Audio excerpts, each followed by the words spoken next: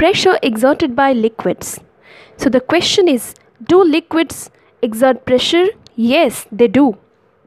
The pressure exerted by liquids depends upon the depth of the water column and they exert pressure not only at the base of the container but also on its walls. Let us understand that how the liquids exert pressure.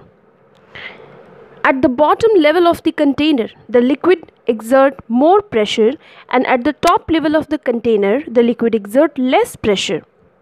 The property of liquid pressure is Number 1.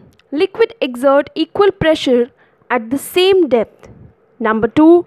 The pressure exerted by liquids increases with depth.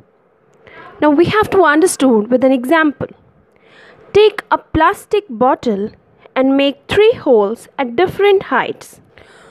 You will observe that water from the lowest hole comes out with the greatest pressure and falls at the maximum distance.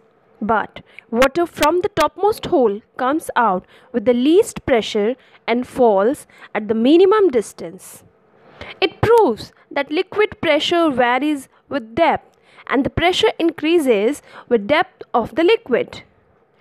Now what happened? if we make the holes in the bottle at the same height.